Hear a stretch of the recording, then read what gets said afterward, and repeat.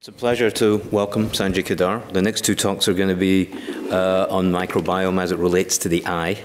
Uh, and Sanjay is our uveitis, one of our uveitis specialists here at um, UC Irvine at the Gavin Herbert Eye Institute. And uh, he has just begun some work with, with uh, Katrina on this. So It's a pleasure to have been invited to speak today. Uh, I'll, I'll, focus the majority of my talk uh, with uh, sort of what the possible roles of the microbiome, of the gut microbiome are uh, in ocular inflammation and in uh, AMD.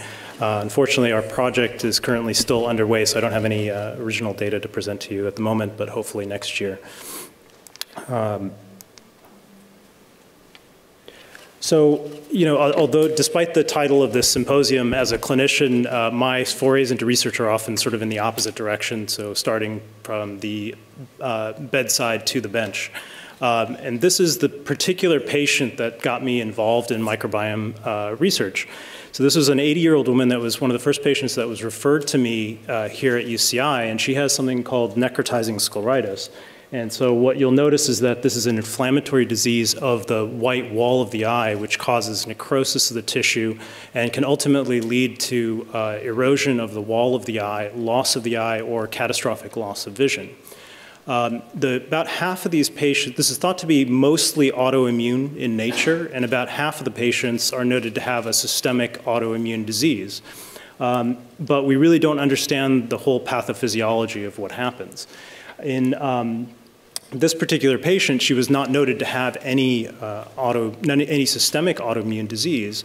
And so like most of these patients, she wound up being put on high dose systemic steroids in order to quell the inflammation in the eye uh, and save her vision. Uh, many of these patients then go on to need systemic immunosuppressive medications in order to control the disease. I put her on uh, these drugs, but they're not without their risks. Uh, notably, they can render the patient susceptible to uh, life-threatening infections. And so this patient wound up having urosepsis, uh, was hospitalized and treated with uh, broad-spectrum IV antibiotics. So we had to take her off of the immunosuppressive medications while she was fighting this infection. But what was most interesting to me was that after she left the hospital and we were getting ready to put her back on these medications in order to control her disease, she actually was quiet. There was no inflammation in the eye.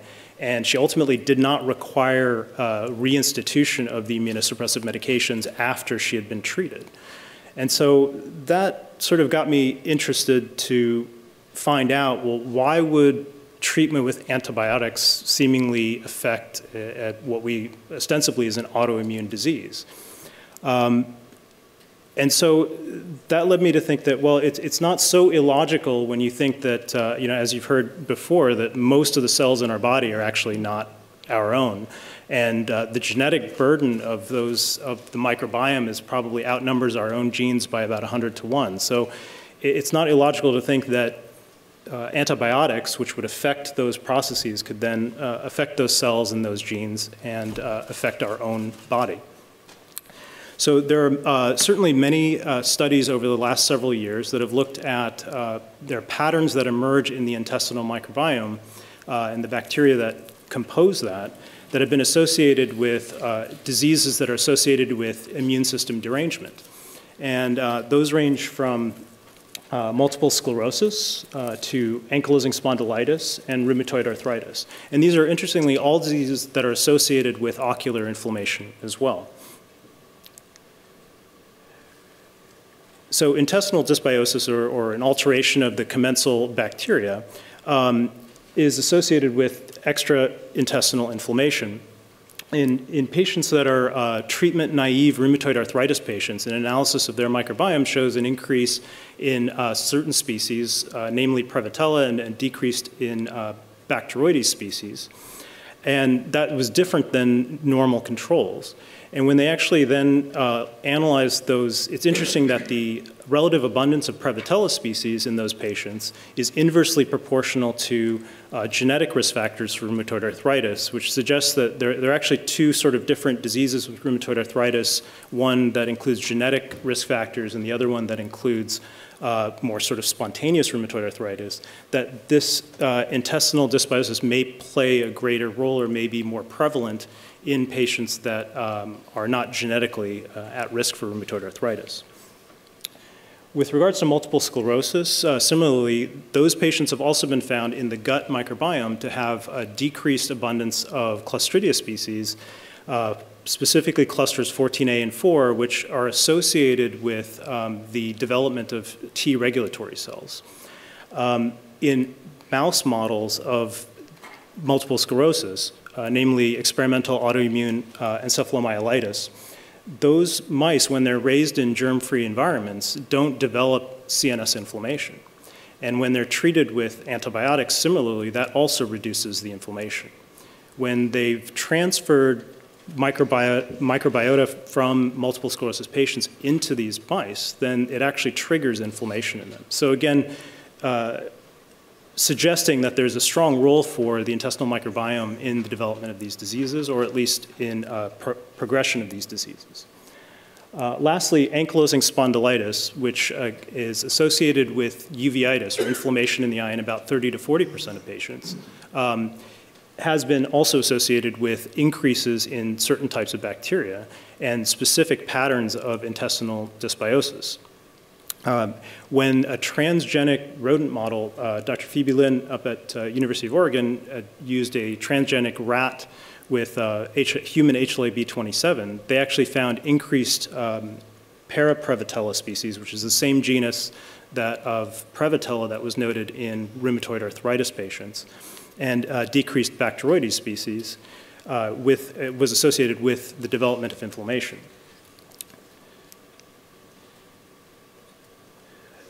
But the, it, it's probably not as simple, the, the interactions between the intestinal microbiome and the um, immune system, it's, it's probably not, it's fairly complex, and especially in the gut, and it's probably not as simple as one good actor or one bad actor.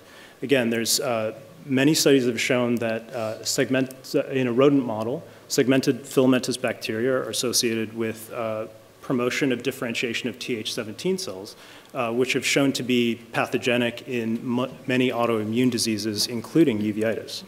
Um, similarly, Clostridium bacteroides species have been associated with enhancing differentiation of colonic T regulatory cells, uh, which, and in subsequent uh, and subsequent development of T regulatory cells in uh, extra, extraintestinal sites, including cervical lymph nodes. Uh, sorry, including cervical lymph nodes. So how does this relate to uveitis, which is my area of clinical interest? Um, so uveitis as a clinical entity for us is sort of a heterogeneous group of diseases, and they all seem to have common clinical phenotypes. But the truth is that the sort of pathogenesis of these diseases is not really very well understood. We do know that many of the, these diseases have a very similar um, inflammatory cytokine pathway, namely that they, they uh, and cytokines specifically that have been identified include interleukin 6, interleukin 17, 23, and tumor necrosis factor alpha. And when we take ocular fluids as well as uh, serum from these patients, we find that there are elevated levels of these uh, interleukins and these cytokines depending on the particular form of uveitis that it, the patient has. Um, Interestingly, over the last several years, uh, antibody therapy or biologic therapy has been targeted against these specific cytokines in order to treat these diseases.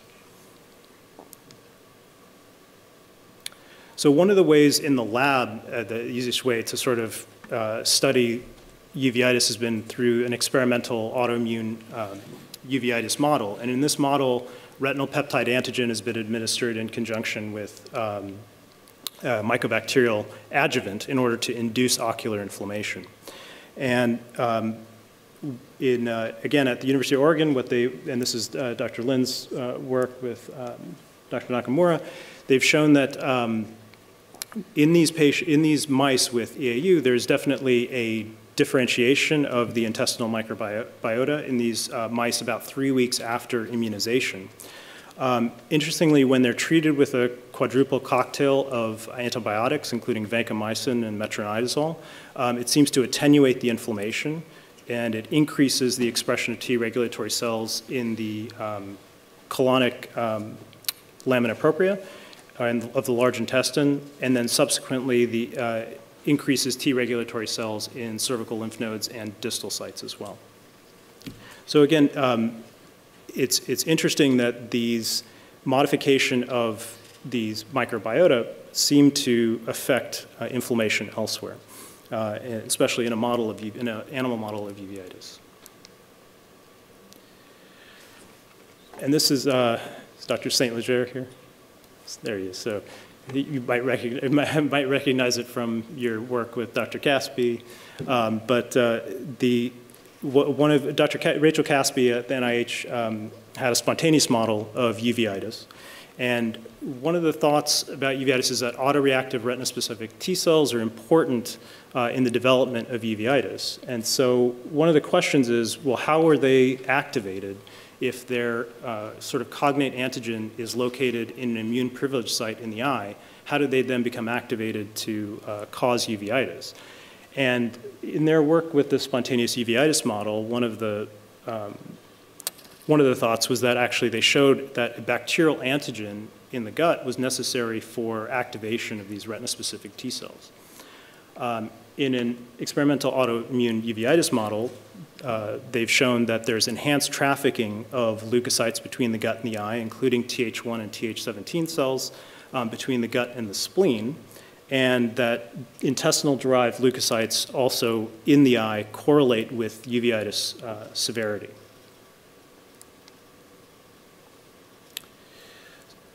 Let me go back one second. So again, there's, there's probably reasonably uh, good evidence that there is an important role to play for the gut microbiome in development of inflammation in the eye, both through animal models. There's, probably, there's not sufficient evidence, I think, in humans yet. We're hoping to get some of that. Some of the preliminary data from work at the NIH does suggest that there's some alteration in the microbiome, but there wasn't sufficient numbers of those patients um, to come to any definitive conclusions. So the generalizability of these animal studies to humans is not clear. How might it affect other, um, other aspects or other uh, ocular diseases? Well, AMD is one of the diseases that we uh, would be of interest, namely because inflammatory pathways have been implicated in the progression or development of AMD. Um, certainly the uh, NLPR3 inflammasome pathways, toll-like receptor pathways, and complement pathways, as well as innate, innate immunity, have been associated with progression of macular degeneration. And all those pathways are, are important in sensing commensal bacteria.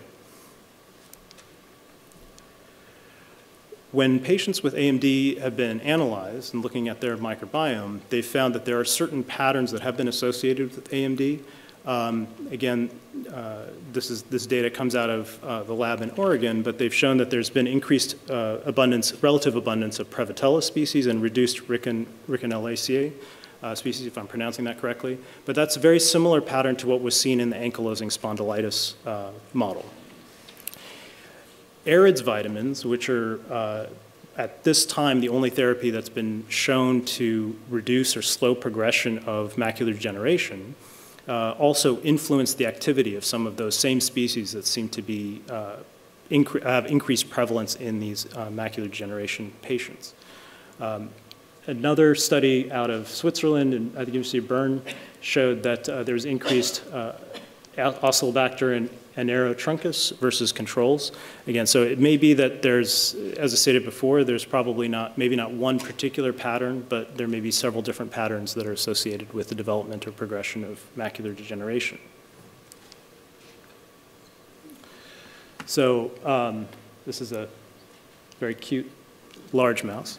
Um, but uh, so this is the, it, the um, obesity and high fat diets have been associated with progression of macular degeneration. And so in, in a model of choroidal neovascular uh, membranes, so choroidal neovascular membranes, um, the development of blood vessels uh, from beneath the retina is one of the is associated or sort of the hallmark of wet macular degeneration and is associated with significant visual loss uh, up until we had uh, the development of anti-vascular endothelial growth factor injections.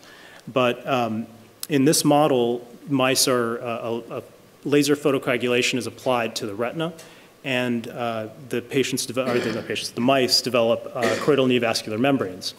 And what they found was that when they fed these mice high-fat diets, there was an increase in progression towards choroidal neovascular membranes. There was an increase in recruitment of retinal microglia and macrophages to the area of choroidal neovascular membranes. When they treated those same high-fat diet mice with antibiotics, they had a reduction in progression of macular degeneration. And when they took the uh, sort of derivatives of the microbiota from those high-fat diet mice and then transplanted them into regular diet mice, the regular diet mice developed choroidal neovascular membranes. So again, it's probably strong uh, or relatively strong evidence that there's an influence there with macular degeneration. So in summary, I think that there's, there's, uh, the gut microbiota may play important roles in uveitis as well as macular degeneration, and it, it opens up an interesting, or an, as a clinician, it opens up an exciting sort of avenue that one day we may be able to either manipulate the microbiota or perhaps their metabolites um, to provide novel treatment options for patients. So I'll conclude there. Thanks.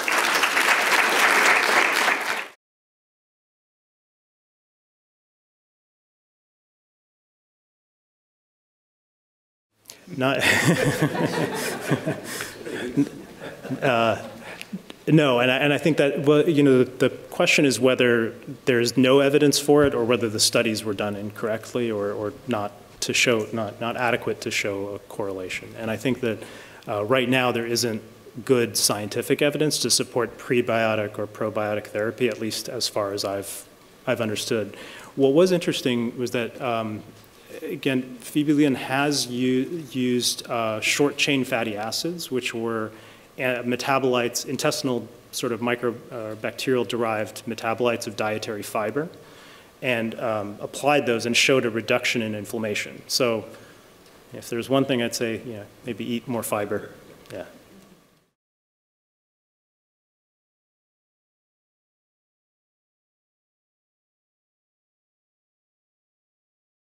So right now, because there aren't, there's, there's not that much data on, uh, on the microbiome in uh, uveitis patients and humans, I think we're trying right now to collect both uh, oral and gut microbiome using sort of fecal samples to uh, categorize the microbiome. And ultimately, ideally, if this can work out, clinically with patients is not always possible, but trying to, to follow patients individually also. So starting from before they actually become inflamed during the acute inflammation and then during the recovery phase, and seeing whether that also may shift.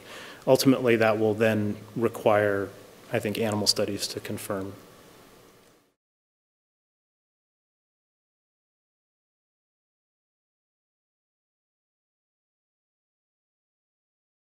Um, yeah, I mean, well, I don't know. And you know, at least in the in the in the patient population that was studied, um, you know, for, from Oregon, it looked like it was very similar to the bacterial signature that you saw in another inflamm in inflammatory disease of ankylosing spondylitis. But um, you know, and I'm, I'm, sure you can correct me if I'm wrong, but it, there's there is an element of inflammation that's involved in macular degeneration, and there's certainly associations with complement pathways and things like that. It's, it's maybe not as significant as we see in uveitis, but there may be an element that that, it may not be the whole story, but it may be the partial story to why certain patients progress. There may be there's mm-hmm. genetic susceptibility and those patients progress from there.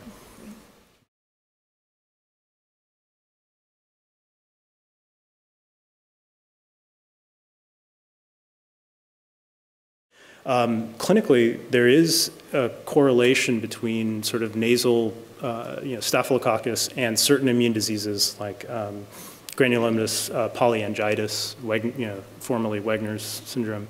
Uh, in that sometimes those can, those, if there is an increased uh, prevalence of Staphylococcus bacteria, they tend to get increased uh, flare-ups, and that's usually a naso, nasopharynx related um, problem. Okay. Thank you.